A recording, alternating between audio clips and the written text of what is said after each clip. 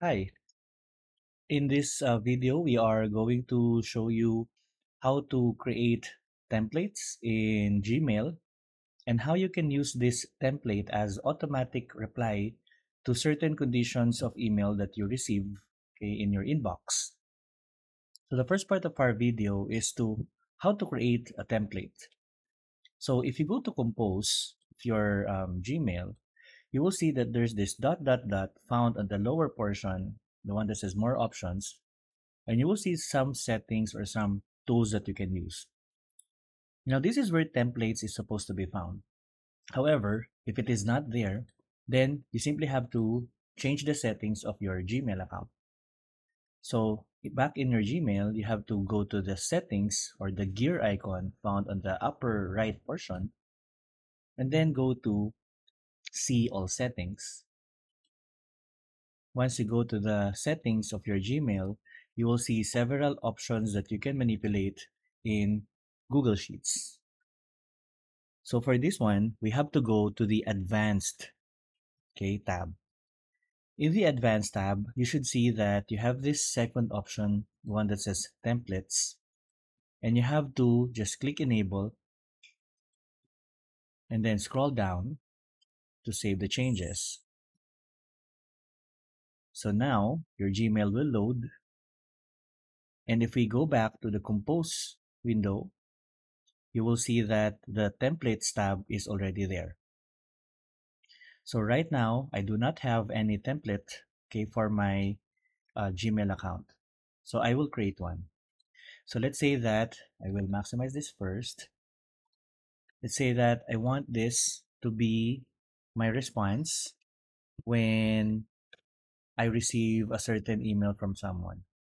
So let's say, hi, this is acknowledged. Please wait for the report within 24 hours. So this is just an example. Thank you. And then we're going to put in a subject, and this will be like a generic subject. This will be the name of the the template so let's say within 24 hours. And then instead of sending this draft, we will go to the more options and templates. And then we're going to save the draft as template. So we'll click here, save as new template. And you see that we have the subject, okay, as our name. You can also change it here if you need to. But for now, I will click save. And now I have one template. I will close this one. So that if I click compose and I want that response, I just have to click to uh, click on the dot dot dot, go to templates, and you will see that I now have a template here that I could click and my email will be automatically filled out. So I'll remove that. So that's one way to use a template. So let's say I have this response over here or this email and I want to reply to it. And then I will use a template. Okay. And now you have the template here. So templates can also be used as automatic response. So let's say that if I receive a certain email from someone, then I will send a templated reply to that person. Take note that this is not exactly the same as an out of office, though you can make it as an out of office. For the out of office, I will have a different video for that. But for now, I just want to create a rule wherein if ever I receive an email from someone, then I will send that template as a response. So for that, I have to click on the gear icon once more and then click the See all settings. Under See all settings, you should see there filters and blocked addresses. If you are more familiar with Outlook, this is similar to writing rules. So here, I have no filter yet. I will create a new filter. And now, the first thing that I have to do is set a condition as to when this filter will be triggered. So let's say that I want okay, to ensure that I only receive an e when I receive an email from this person,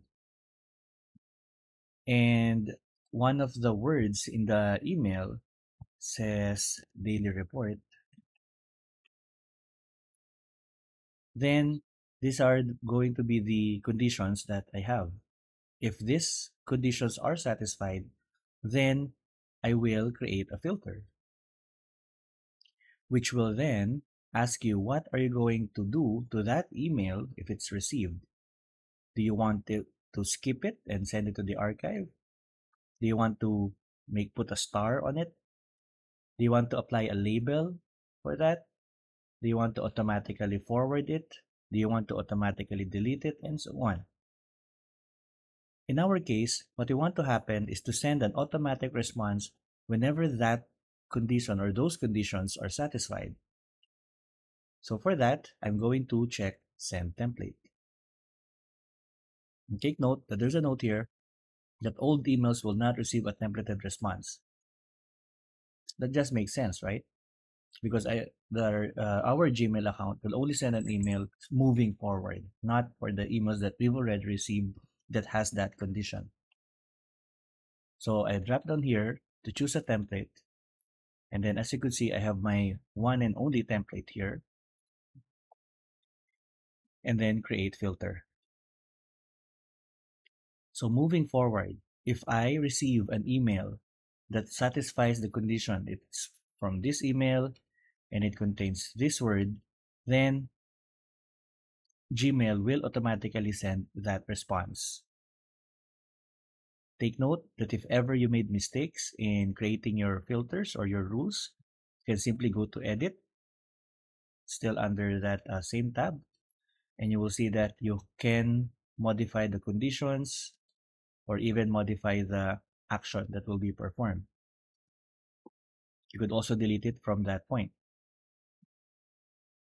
Take note as well that you can edit a template okay, by going to the templates and then click the template and save it again okay as your draft. So you have to save it as a new template in order to create a version of your response. And that's it for this video. I hope you learned something new and i will see you in the next one